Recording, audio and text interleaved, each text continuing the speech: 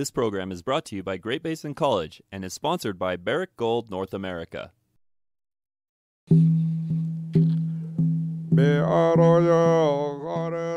Welcome to the oral history recording of the Great Basin Indian Archives. We are interviewing elders of the Great Basin. This recording is available to students and researchers at Great Basin College in Elko, Nevada, as well as on the Great Basin Indian Archives website at www.gbcnv.edu forward slash GBIA. Nyen Helen Walker, New Duckwater, Night. Has your family always been here in Duckwater? Ah, no, no mun bide panni mi degus. Nu pahedo mun apanni mi bide kasakka magoi. Ak nu mun ham Smoky Valley na bide pande. Se kuin mun na bide panne. So min baga nunda hagai na about two three years nakan so by government ni mi gani utu. Jo surun gani igu jo atu me ku mambina china de min gani. Usumbuga pune min gani subisadenda nasna ngos mari mari gu chanman na dibia dibia jo sak mari dividing han un sare gu chan han sube gu chu gu chu na sube da na munda äh, kane gi gu kan wai pun sadenda äh, garden hai gar na you know do sang han na äh, sa do asadin do wa ya hiba kwensa sen dai dai bo dai bo na de vi na pan floyo floyo Og så kan du bli en app han bjør og bjør, så de bør bjør og bjør. Så hun sier til hun, så kan du bli han nede. Og så hun sier til hun, nå må du sånn ikke sikkert bjør på han, så kan jeg åtte hans. Men hun må nå åtte opp, nå er hun sikkert kjenne sånn av, nå da på alle tider. Så nå må sikkert på han, så sikkert nå må du bjør og bjør. Nå må hun, nå watไปแสดงเนื้อเนื้อปาดปาที่บ้านสิกันนับสบดาเนื้อมันดาสบดานี่มีวันนั้นเนื้อน่าสิเนื้อ oldest one สบดาเนื้อ brother ฮะวัดเนื้อ brother ฮันสบดาเนื้อมุ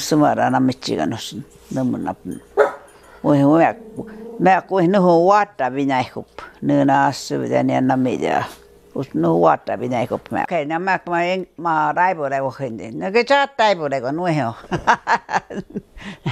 Well, mm, like I said, uh, my my family they're not around here. It just two of us left from from us. It was just I'm the oldest one out of the last group, and then my sister. She's the youngest. The rest, the oldest one, they're all passed on. So their kids is some are in Reno, some in California. They're just scattered all over. Like my kids, they they they just they work. They work in their tribe buildings, you know, in their tribe um, their tribe uh, working for their tribes. My son, he works down here at the oil rig uh, refinery, and two of my girls works here at the tribal building at the clinic. One at the tribal building and then I got uh, my sister, that youngest one. She's in um, uh, up in uh, oh my God, here, Missouri, Missouri, Montana. I think it's in Montana.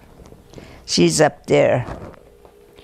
And then my other daughter's in Vegas. She works with a lawyer down there. Then I got a lot of aunties and, you know, uncles, but they're not around here. They're just scattered all over. I went to school here, all my eighth graders, up to eighth graders. I think it was Indian school because we have we had all kinds of teachers. You know, they hire a teacher, then they stay with us for a while, then they take off, and we have another one. You know, it was it wasn't a study teacher like the county had the county had a teacher that lives down here. So that's that uh, Kathy was talking about. But this is these guys are from all over. From you know they come teach us. But seemed like they were all, they were okay with us, so we never had no problem. Then we had a cook that used to cook for us. We eat at lunchtime. She's um, uh, You probably know Virginia Sanchez and Lily, Lily Sanchez. Yeah, she was our cook, Lily Sanchez. She was our cook for a long time. Yeah, we speak Shoshone. We speak Shoshone. Then we never had no problem with, uh, uh, well, then, that years, I think all the kids eat, uh, they talk uh, Shoshone. Not really, uh, not much speaks English. But now, now the kids, they all speak English. Not much Shoshone. See, my kids all, they all, uh, they'll understand it, but they just don't talk.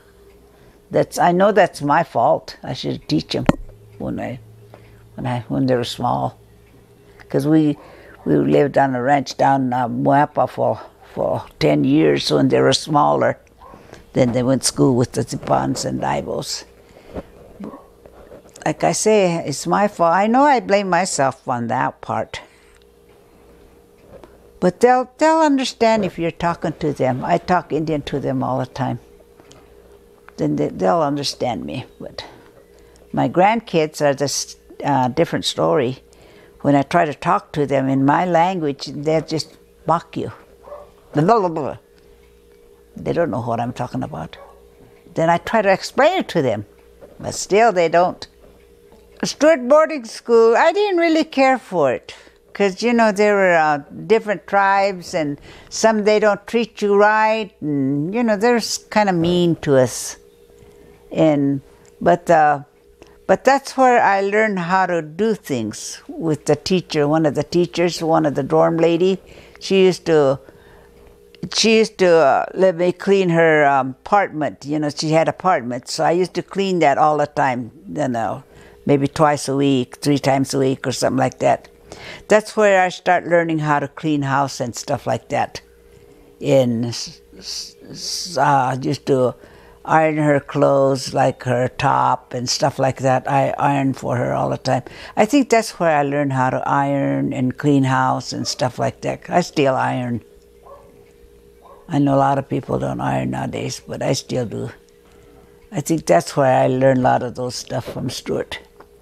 Then on that one summer, we were shipped to uh, uh, up Lake up Lake Tahoe. They got a big uh, big uh, wash house or something up there, laundry mat, like laundry mat. There's a bunch of us girls got shipped up there for the summer, so that's where we uh, worked all summer at the laundry mat.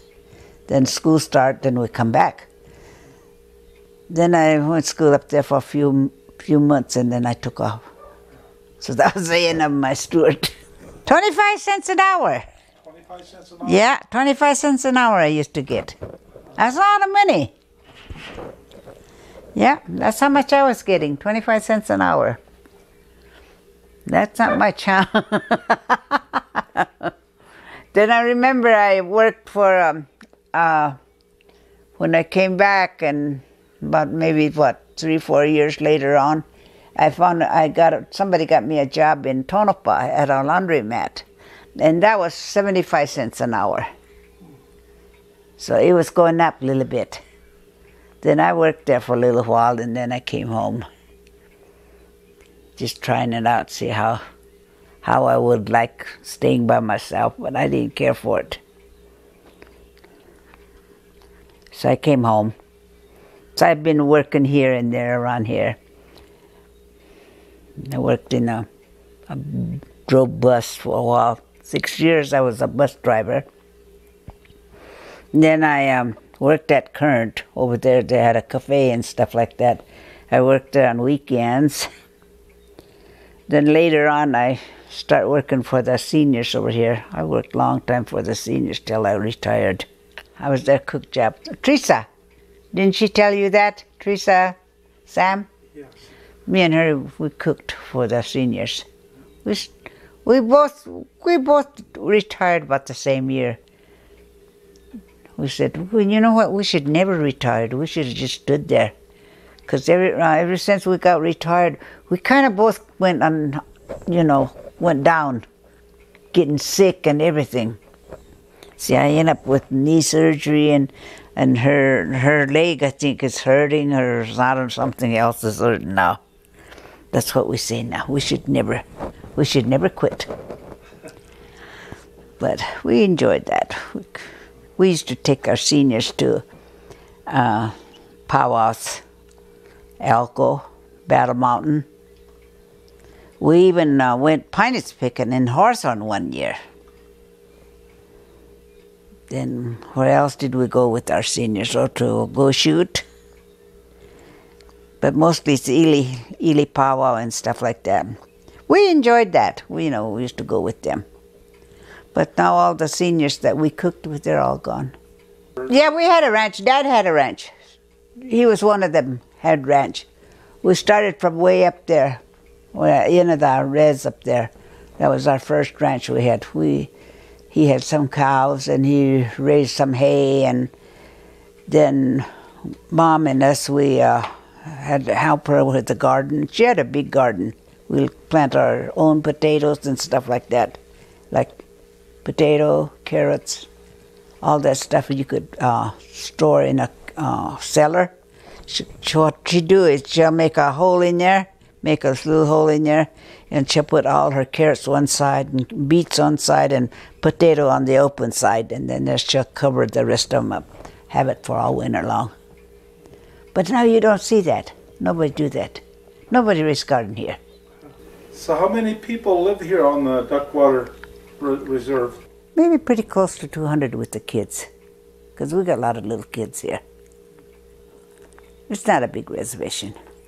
Well, you could see it just down the valley. Mostly down here. This is where mostly us lives. Well, the guys are the ranchers. Yeah, the guys are ranchers, and then uh, I think there's three of them that. Uh, let's see. There's Eddie, Tony. Those guys got the ranch. They they work here at the tribal building. You know, at the shop. And most of them, they work. Uh, some works in Ely at the mine, and then uh, there's a few of them works at uh, oil rig. My son works there, and my grandson works down there. Well, they started over here at the tribal building, but then they had problem and they quit. Mostly the ladies, you know, they work at the school and they work at the tribal building. The guys there, the janitors over there, they got a job as a janitor. Then the ladies, they work in the office and stuff like that. Now, once in a while, me and my son and my other daughter, we go up to Elko, do our big shopping at uh, Walmart. Like, you know, like some big stuff up there. In Ely, it's just a, boy, it's really high. So, what we need, really need, you have to buy, but everything is so high. But we're kind of noticing in Elko, the meat are getting really high up there. Because we used to buy a lot of meat up there. But this last time we went up there, God, that's so high. So I guess they're going up too. Once in a great while, we'll go to Vegas and we'll buy the big stuff like at the Costco, big stuff like meat and stuff. We'll just pack them up, bring them home, and then we cut them up in small pieces and freeze them. That's what we do sometimes. What we need really bad in Ely, then we buy it in Ely. But we go to doctors in Ely and the hospitals in Ely. They got a health clinic over here but they they still don't have no doctor yet. But right now they're um, they're adding on to the building. Did you see that part on the on the north side? The health department they're adding on, so it's going to be a big clinic. So they're gonna what they're gonna do in there, I guess, is some uh, exercise for the guys, you know. So after that's finished, we'll probably get a doctor. Right, right now we don't have a doctor. When I was growing up, Schurz Schurz was that was our our hospital. That's where we used to get all our help. If we uh, if we need a like our tonsils removed or anything like that, they'll they'll take us over to Schurz. Then we get all that taken care of. Dental, dental over there, all that stuff. So we, I remember that we used to go there. Then. Uh, then Elko got part of us. We we go up to the new clinic up there too. Is it New Clinic, the name of it? That's where we go. Some of them goes there. Then we used to go, uh, you remember, we used to go up to Owyhee too. They'll take a load of us and take us up there. Then we spend a night up there at, uh, where is it? Uh, that one little motel they used to have up the canyon. We stay there overnight and then go up to the hospital the next day. Then we'll have our dental work up there too. If we need help, you know, um, uh, like an Indian doctor, well, Willie Blackeye was the only one that was. He was he was the best one we used to have, but he's gone. And then before that, then we had another guy. His name was some kind of Boo Creek that used to do those things, and he's gone. So the only one that kind of comes around and help us out a little bit all the time is Gani, Gani Gomez, or what is it? Gomez? You said Gomez? Gani? Mendez. Mendez. He's the one that kind of we, we go help for from him if we need help. He helped me a couple times. He sings to you. He sings all that time. Then he'll have a break. Then he'll sing again. Then at the third time, I think it's the third time, he stops. Then he'll tell you uh, what's what's bothering you, or you know what what's uh, what's happening to you, who's bothering you, and where did you get that sickness, and he'll tell you that, and then uh, then he'll sing again, and then that's it. That was interesting though to listen to, because I, I I was a little older, little, little older when I used to remember him doing those things. But he'll tell you what's who's bothering you, where'd you get that sickness. Mostly it's from uh, hand game and stuff like that. That's where mostly get it. No, I don't play hand game. I would just I usually just watch. I just stand and watch them, or I'll sit with somebody chat like uh, like some ladies I know from Battle Mountain. They play hand game or go shoot. They play hand game. So I just sit there and you know visiting them. So I don't I don't do that no more. After he told me not to, don't be too close to the man game players no more. He said somebody in there don't like you. So back when uh, Willie Blackeye doctored people, did he charge people or was it just uh, Fifteen dollars. It used to be fifteen dollars. Now it's just donation. Like Gani, I think he's just a donation. If you want to give him something, like um, I always ask for a, a bag of smoke, whatever it is, blue. Like a used to be blue derm. I don't know what it is now. He'll just you'll just donate that to him, cause he'll use it in his um, in his um, uh, sweat in a sweat. You know they have that sweat building. They use that smoke in there to get their rock really hot, and they sprinkle that smoke on it. Cause that's where I go. I go in that sweat. They usually have one. Uh, I think that well, if they wanted to have one, if somebody wanted one, and then they'll have one. But they usually have one before uh, their Sundance. You know, when they have Sundance up in the mountains, then they'll have one here on the reservation. Then they. Somebody from Owyhee, I'm not Owyhee, Elko comes down, helps Jeff and them. Then they usually let me know, so me and Teresa go down there and get in there we make it through. Just that one time I didn't make it through there. It got too hot in there. Well, they said, nah, they have sweat and, you know, they, um, he'll just tell you, you know, what it's about and, you know, what do you believe in. And then he'll sing a song and then, uh, then he'd do a little prayer, a prayer, uh, a prayer in there and then, uh, then they uh, they got some singers in there, uh, like Janie and uh, Shasta and I don't know some of these guys. They they'll they'll sing a song.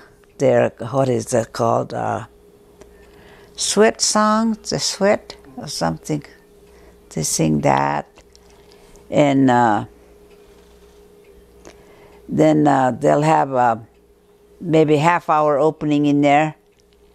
You, uh, if you want to, if you want to bless your family, then you say your, you know, you, you in. While they're singing, while they're singing, you you know, you bless their, you bless your family like I always, you know, bless my family. Even, you know, some are probably sick or some, I usually tell them, you know, we're thinking about them and we bless them and stuff like that. We'll do that and then it's neat.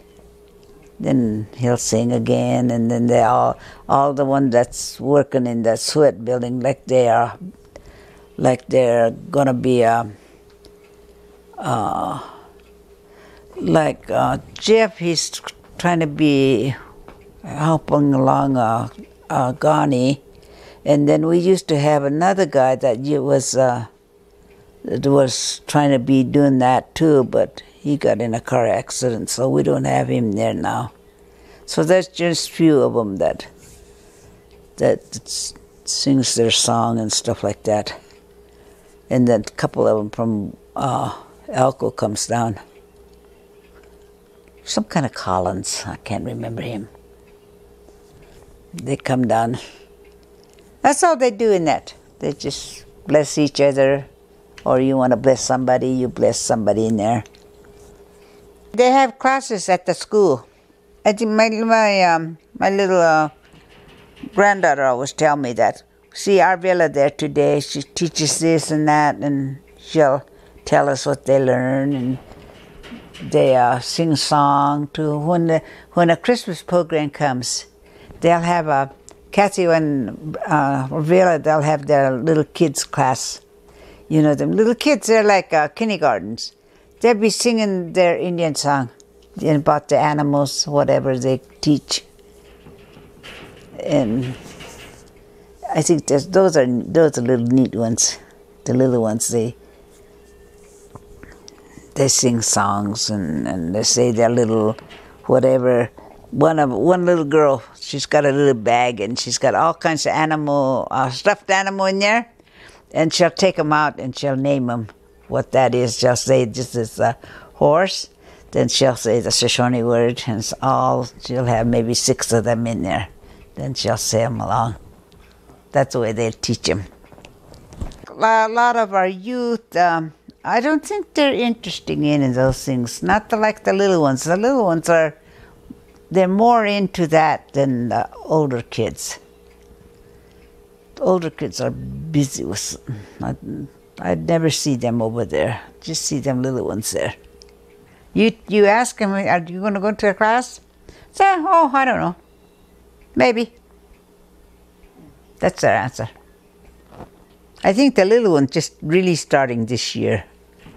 They started from the daycare. Then now they're in that uh, preschool over there, so they're over there in the afternoons. So I think the little one is uh, they'll they'll uh, speak more uh, Indian language than the other the older groups. I don't think the older groups will. The teenagers. Oh, they're busy. They're going to go to movie, or you know they they're working. I don't know where they're working, but when they get their jobs and stuff like that, then then the people there, who was their supervisor, will tell them to do things and that, and then they holler at them, and I don't know about these teenagers. The only thing I do a lot is I make blanket quilts, embroidering, uh, dish towels, and my um, pillow slips. Those things I do a lot. I tried beadwork, but my eyes are not good. I can't see good. So I can't do that. And the willow, the willowing, and the, I don't know, my hand's not, um, I, I, can't do it. The same with uh, crocheting, my hand gets really stiff. I can't crochet. Like I said, that's the only thing I do is embroidering. I do a lot of embroidering. I, I quilt, yeah, I, I do a lot of quilt. And I used to make um, a lot of baby quilts. All those kids from way back had my quilt. I make a little homemade quilt for them. But the young ones nowadays, I think my quilt, my, my baby quilting is going down a little bit, I think. a lot of these kids don't have my quilt now. For additional information or to refer an elder of the Great Basin who may be interested in contributing an oral story for preservation, contact Norm Cavanaugh, Director of GBIA. Great Basin Indian Archives, brought to you by Great Basin College and sponsored by Barrick Gold North America.